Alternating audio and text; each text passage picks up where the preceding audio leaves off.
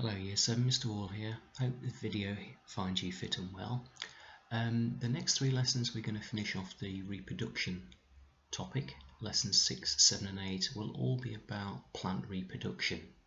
Now all three lessons will be on this particular PowerPoint, but the videos will be once again three separate videos for three separate lessons. Um, please note that the videos will now be uploaded to my YouTube channel Wolf Wall Physics. Um, a number of people having difficulties opening video and I think YouTube might be a little bit easier for you guys to actually access. At the end of the lesson you'll be directed towards a caboodle activity which will assess and hopefully put right anything that you've misunderstood from these three lessons, it should say there. Um, you will then be directed towards a practical practice test rather and then the test uh, which will act as a kind of assessment. You're used to doing that as normal part of your homeworks when we do these units. Okay then, reproduction in plants. Uh, the first lesson is entitled Flowers and Pollination. That should be the title that goes into your book or into your notes. And you can find information about this lesson in Activate Book 1 pages 50 to 51 or on the aforementioned YouTube channel Wolf Wall Physics and the video will be titled Flowers and Pollination.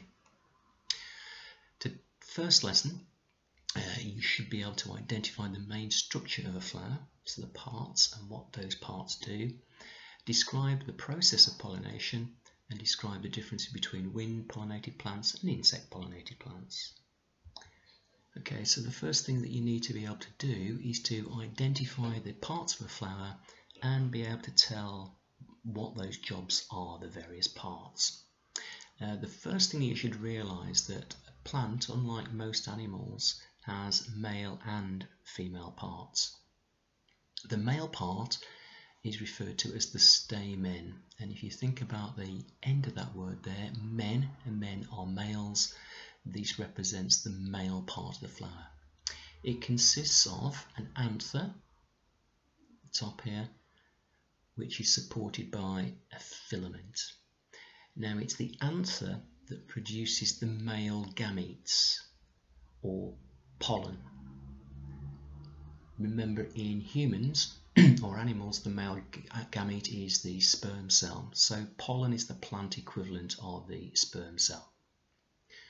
The female part is called the carpel and the carpel consists of a stigma, a style and an ovary down here.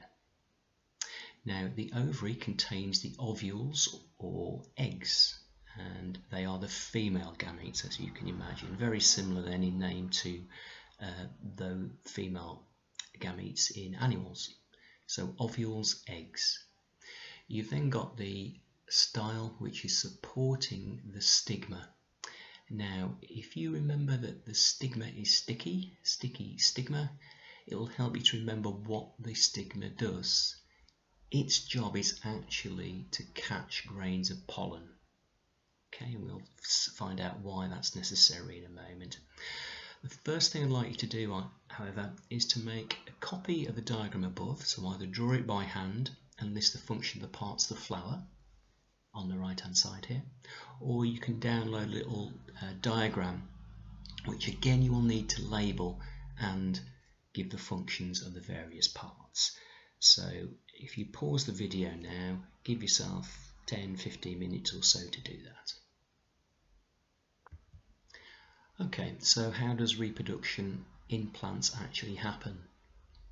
Well, for reproduction to occur, the male sex cell, pollen, must join with the female sex cell, just like sperm must meet egg in animal reproduction. The transfer of pollen to the stigma, remember the stigma is the one that catches the pollen, the female part of the plant, is called pollination. And pollination can occur in two main ways, either by transfer by animals or transfer by the wind. Some plants are able to self-pollinate, but we're really only interested in pollination produced by insects and the wind. Under the title, How Does Reproduction Happen? Uh, I would like you to draw up a table which you see on the left hand side here with the column headings and then what I'd like you to do is to write down the characteristics of plants which are designed to be pollinated by insects and then write down the characteristics of those plants are designed which are designed to be pollinated by the wind. So let me give you a list of characteristics and give you a couple of examples. So um, if a plant is brightly coloured, it's sweet and has sweet smelling petals, it's designed like that to attract insects. So that plant would be attracting insects. So the insects could come along and transfer pollen away from that particular plant.